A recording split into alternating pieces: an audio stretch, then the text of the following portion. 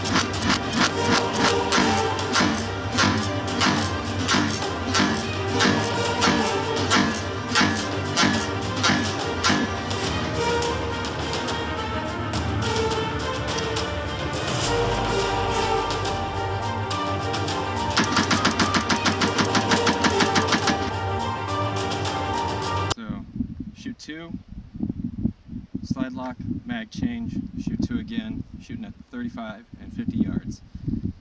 One power.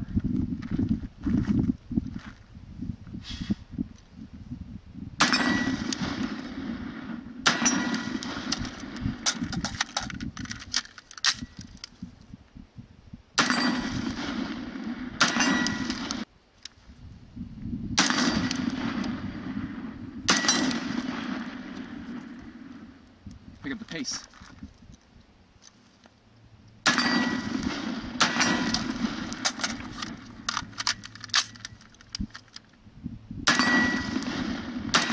Miss. Hit. Let's try some SBR, transition to pistol, and a reload, shooting uh, 35 and 50 yards.